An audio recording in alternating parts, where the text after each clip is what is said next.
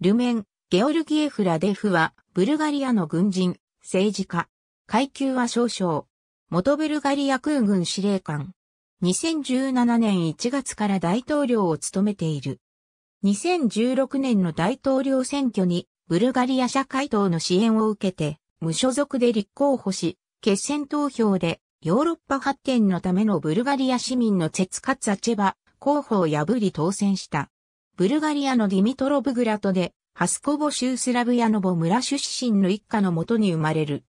1982年に金牌を授与されて、ハスコボの数学学校を1987年に主席でゲオールギ・ベンコフスキ・ブルガリア空軍大学を1992年にアメリカ合衆国のマックスウェル飛行中隊長主管学校を卒業。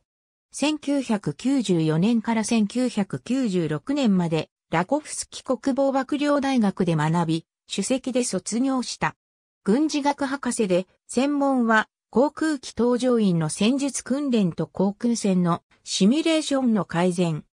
2003年にアメリカのマックスウェル空軍基地にある航空国防大学を優等で卒業し、戦略論の修士号を取得した。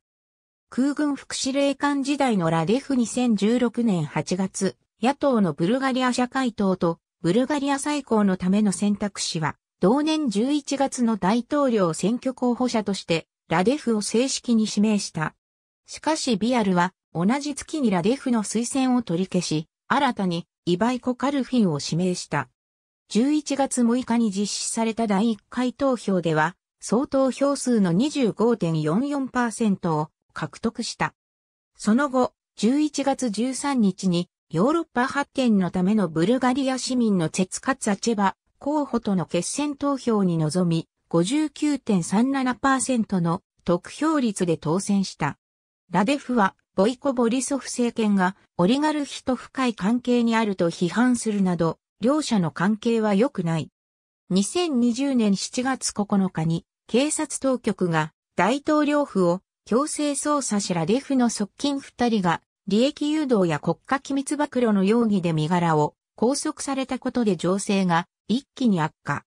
首都ソフィアなどでは強制捜査をボリソフの差し金と考えた反政府勢力が対人要求デモを連日行い、ラデフも内閣総辞職を要求したが、ボリソフは7月11日に要求を拒否。反政府勢力は対人を要求する署名運動をオンラインで行うなど混乱が続いた。2019年10月22日の即位礼正殿の義に参列し、10月24日には迎賓館赤坂離宮で安倍晋三内閣総理大臣と会談を行った。はじめの妻である銀貨との間にダリナとゲオルギの二人の子供がいる。社会党所属の国会議員であるゲオルギ・スビレンスキの元妻、デスツラバ・ゲンチェバと再婚しており、一人の連れ子がいる。ありがとうございます。